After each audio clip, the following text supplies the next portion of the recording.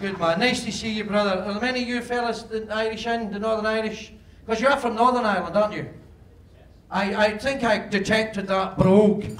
Hello there. I say you're, you're from Glasgow, are you, big lad?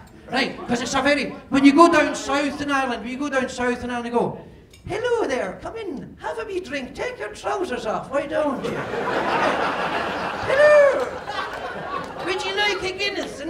And. And then you go to Northern Ireland, you go, you got fucking 15 minutes to get out.